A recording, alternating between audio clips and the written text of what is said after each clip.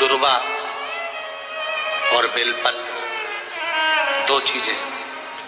देखिए, एक बात बहुत अच्छे से याद रखिए। अगर डॉक्टर आपको कह दिया है कि आपके पेट में या बच्चा दानी में या शरीर में कहीं गठान आ गई है, कहीं गांठ आ गई आपके शरीर में, और ये बात अपनी याद रखना, पड़ोसी के यहाँ भी तकलीफ़ हो तो आप बता सकते हो।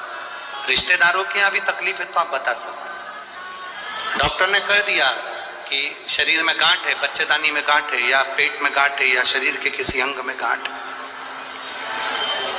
एक बेलपत्र लीजिए दुर्वा लीजिए।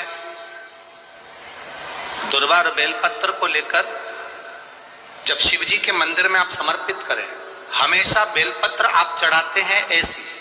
कैसी चढ़ाते हैं? ऐसी। थोड़ा थोड़ा जब आप दुर्वा और बेलपत्र शिव जी के मंदिर में शिवालय पर चढ़ाएँगे शिवलिंग पर तो वो ऐसी समर्पित करी हुई दुर्वा उस पर रखी हुई। सात बार जो लोटे में जल भरा हुआ है कलश के अंदर जल है वो कुंदकेश्वर महादेव का नाम लेकर दक्षिण में बैठकर उत्तर की ओर मुख कर कर सात बार उसी जल को उसके ऊपर गिराना है। कुंदकेश्वर महादेव का नाम लेकर।